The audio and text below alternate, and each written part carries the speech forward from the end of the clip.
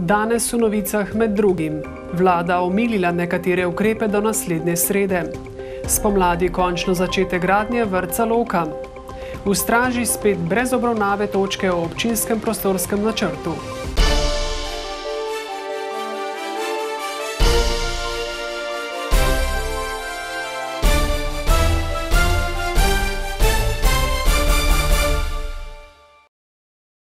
Dober večer. Vlada je na dopisni seji sprejela odločitve o sproščanju nekaterih ukrepov pred prihajajočimi božičnimi prazniki. Od jutri bodo spet na voljo nekatere storitve in javni potniški promet. V nekaterih regijah bo dovoljeno tudi gibanje med občinami, glede šolanja pa ni sprememb. Sprostitve bodo veljale predvidoma do 23. decembra. Jutri se boste torej lahko usedli na vlak ali avtobus in se odpeljali k frizerju ali v kozmetični salon. Vrata znova odpirajo tudi cvetličarne in avtopralnice. V redu, super, manjka nam to. Če se bomo držali pravil, mislim, da ne bo problema kakšnega večjega, da se ne bomo kje okužvali. Ne vem, kaj bi rekel, nič posebnega. Zakaj smo pa zdaj te dva meseca bili brez, ne, tudi to ne vem. Tu se moramo vsak zase pogledati, kaj je. Ne? Drugače ne moreš nič. Ne? Šole treba odprti, delovci morajo delati. Ja, no, načeloma je prav, da, se, da, da bi vsaj malo spustili. Prehod občinskih mej bo možen v regijah, kjer imajo trenutno najboljšo epidemiološko sliko. V obaljno-kraški, goriški, osrednje slovenski in gorenski. V jugovzhodni in posavski regiji še naprej ostajamo omejeni na gibanje znotraj občine prebivališča. Ja, to pa naj še kar malo počaka, bi bilo kar prav. To bi mogli ljudje biti tako sveščeni, da vejo, kaj, kaj je mus, kaj ni, ne? kako se družiti, s kom se družiti. Mislim, da ta osveščenost je premalo prisotna. V naslednjih dneh pa po posamičnih regijah lahko pride do sprememb glede sproščanja ali zaostrovanja ukrepov. Vlada bo na četrtkovi seji določila režim omejitev v času prihajajočih praznikov.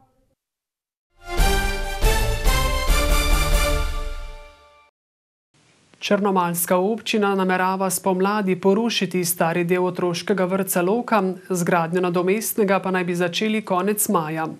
Po desetletjih obljub naj bi otroci in zaposleni nove prostore vrca vendarle dočakali poleti 2022. Župan Andrej Kavšek in direktor podjetja TGH Stjepan Jarnevič sta minuli teden podpisala težko pričakovano pogodbo za projektiranje in gradnjo vrca, ki bo nadomestil dotrajeno in več kot 40 letja staro stavbo v Loki. Zelo smo veseli in veseli nas, da je res končno prišlo podpis do te pogodbe, kajti vrtu smo že vrsto let opozarjali na to, da so naši prostori slabi. Tudi vrtec deluje na več različnih lokacijah, da bi enkrat res Črnomelj mesto dobil en tak sodoben in lep vrtec. Novogradnjo bodo izvedli na mestu starejše stavbe, ta pa se bo s povezovalnim hodnikom povezala z novejšo stavbo obstoječega vrca, v kateri že delujejo štirje oddelki. Pogodbena dela vključujejo projektiranje, torej projektne, projekte vse, in seveda izvedbo in opremo. Za igriščem, za zunanjo ureditvijo, dodatna parkirišča. Uh, tako da lahko rečem, mislim, sam osebno bom rekel, da sem kar zadovoljen z doseženo ceno. Dobrih 3,5 milijona evrov, pri čemer si občina nekaj manj kot 470 tisoč evrov obeta iz ekosklada, razliko sredstev pa bo financirala iz proračuna. Med Božičem in novim letom, ko bodo občani doma, naj bi na občini pripravili spletno predstavitev idejne zasnove projekta. Načrtovano je, da dobimo deset oddelčni vrtec. Uh, skratka, tudi to, kar smo v tej enoti najbolj pogrešali, telovadnico, en večnamenski prostor, uh, nova igrala, lepše igrišče, uh, pogoje tudi za strokovne delavce, uh, boljše. Eh, od zbornice do kabinetov, ki jih tudi nam sedaj primanjkuje. Tudi zaradi epidemije prostori vrtca v Loki zdaj samevajo, varstvo pa poteka na petih lokacijah in tako bo tudi v času gradnje. Enoto na Majerju nameravajo po preselitvi v nov vrtec opustiti. Od dobre novice v Črnomlju pa med svetniške klopi. Straški svetniki na zadnji redni seji v Novič niso razpravljali o spremembah in dopolnitvah občinskega prostorskega načrta, saj so točko na predlog sama Jakliča s šestimi glasovi za in petimi proti umaknili z dnevnega reda. Razlog za umik je ostal enak kot na prejšnji seji. To je negativno mnenje Direkcije Republike Slovenije za vode in posledično so prepričani pobudniki umika neusklajenost predlaganega odloka z zakonodajo.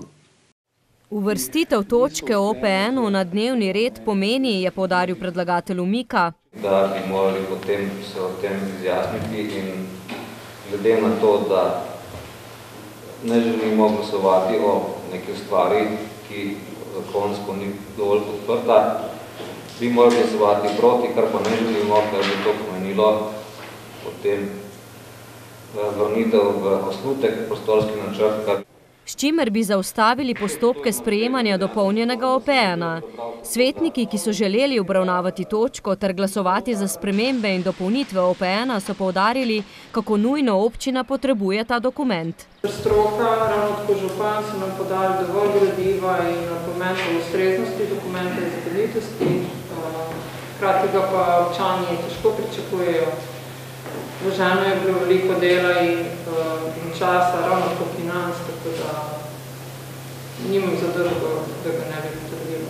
Zdaj je tu že kar dolgo čakamo, zdaj že včas kar razmišljam, da smo pozabili čist na družine, na eh, gospodarstvenike in na vse in samo več vse bomo imeli, več bomo nabrali sredine. Borut Likar je bil po seji prepričan, da so z umikom točke storili prav.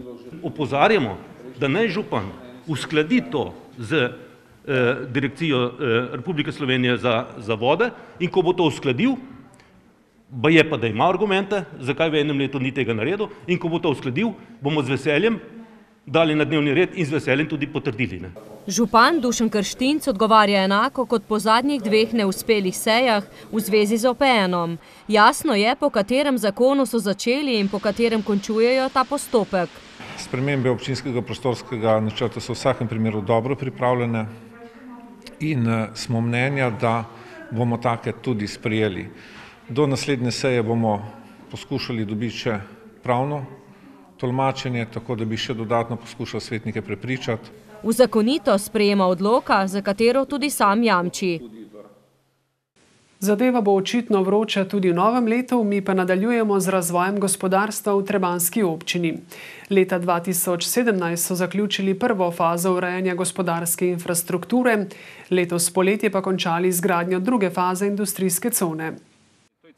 V sklopu zadnje gradnje so pripravili vse za takojšnjo priključitev na javno infrastrukturo in vzpostavitev dejavnosti. Vodovodno omrežje v dolžini nekje 700 metrov, potem fekalna kanalizacija, metorna kanalizacija in pa ceste v dolžini nekje 400 metrov. S tem je dokončano ureditev o nekje 16 hektarov velikega območja. Vsa zemlišča so že v rokah pravnih oseb, na nekaterih gradnja že poteka.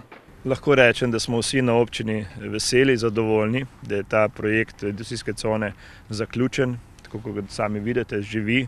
Nekaj podjetij sicer še delajo svoje projekte, načrtujejo, še neko oplejo, tako kot za nami, ampak jaz pričakujem, da bo v kratkem tudi vsa ta zemljišča pozidana.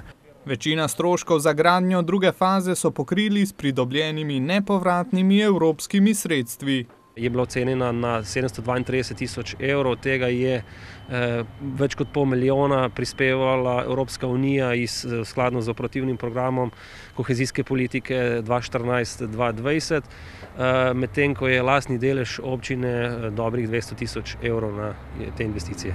Z urejeno industrijsko cono so seveda zadovoljni tudi uporabniki. Zdaj se bo bistveno izboljšala možnost izrabe teh površin, pač urejeno je komunalna infrastruktura, tako da lahko polno izrabljamo za naše gospodarske potrebe zemljišča.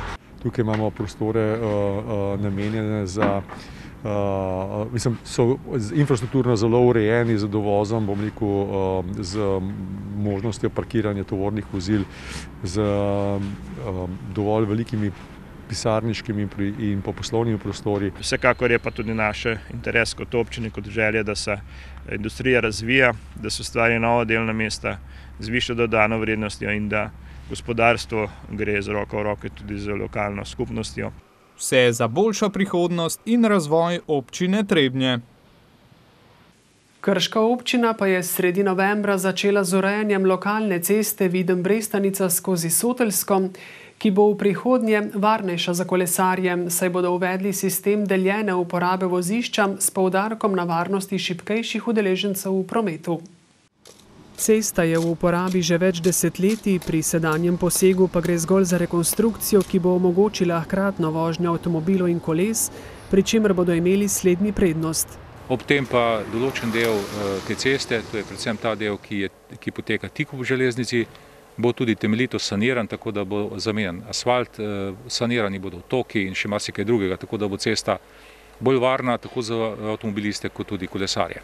Cesta Videm Brestanica je v času del popolnoma zaprta. Za lastnike objektov pa je dostop možen v dogovoru z izvajalcem glede na potek del, ki bodo predvidoma, odvisno tudi od vremenskih razmer, trajala do konca leta. Gre predvsem za to, da je to območje bilo izredno prometno obremenjeno in da so tukaj nastajale izredne hitrosti. In seveda tudi je bil namen, da se tudi po tisti strani omogoči pešcem in pa kolesarjem, da uporabljajo se peš, peš pot je spodaj, vendar kolesarji lahko uporabljajo tudi zgornjo cestišče.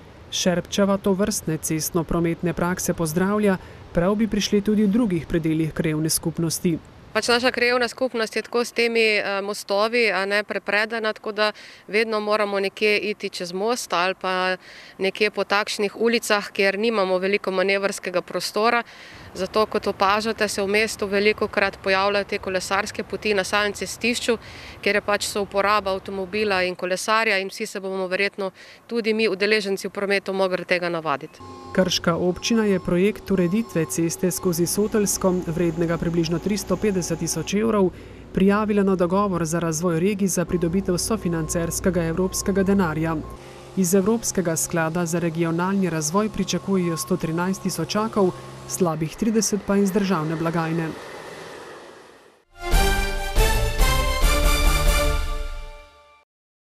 Leto je naokoli in spet je čas za akcijo Dobrodelna košarica, ki jo prirejata Novomeška Rotarakt klub in Dobrodelni Leo klub.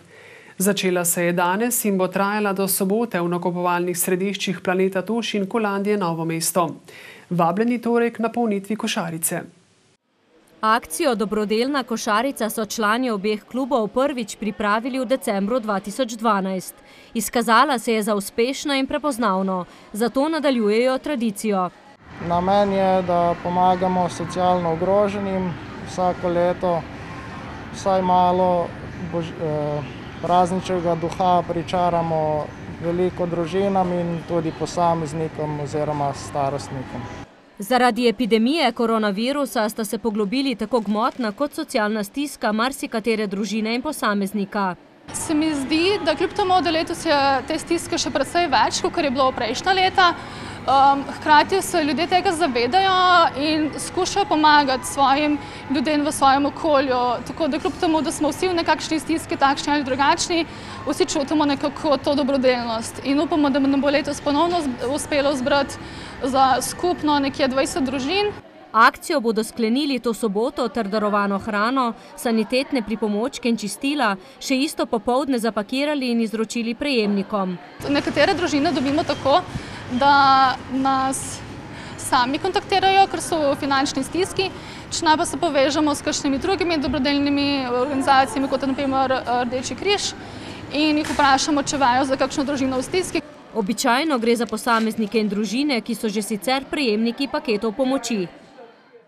Plemenita dejanja v nas budijo upanje na boljši jutri, mi pa vas vabimo, da ostanete še naprej v naši družbi.